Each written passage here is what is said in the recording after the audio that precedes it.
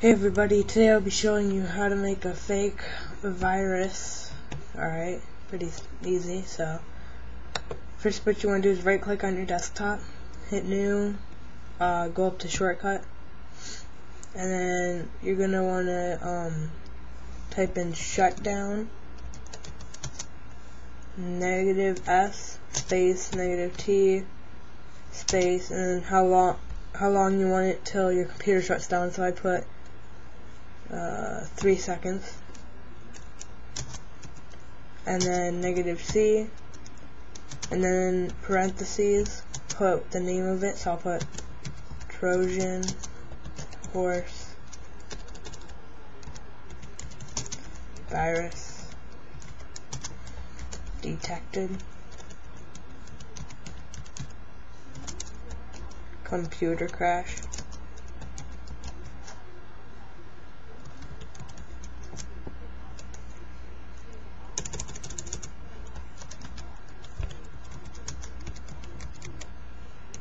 Alright, and close it, and then hit next, and then name what you want it to be, so I'll name it Internet.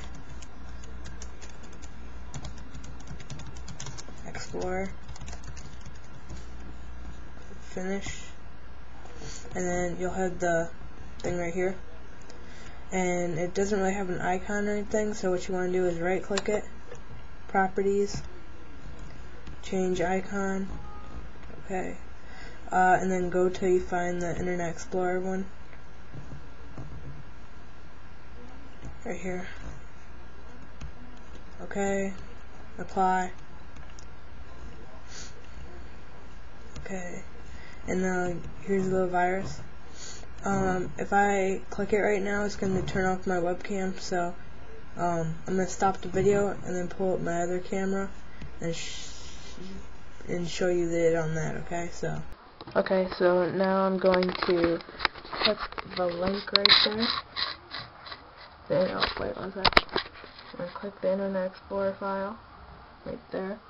It's going to say Trojan horse virus detected computer crash. And then it's going to shut down my computer.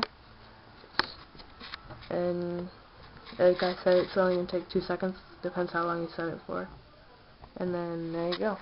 You shut down someone's computer and nothing happened to it, it's perfectly fine still. Uh, make sure you rate and subscribe and just check out more of my videos.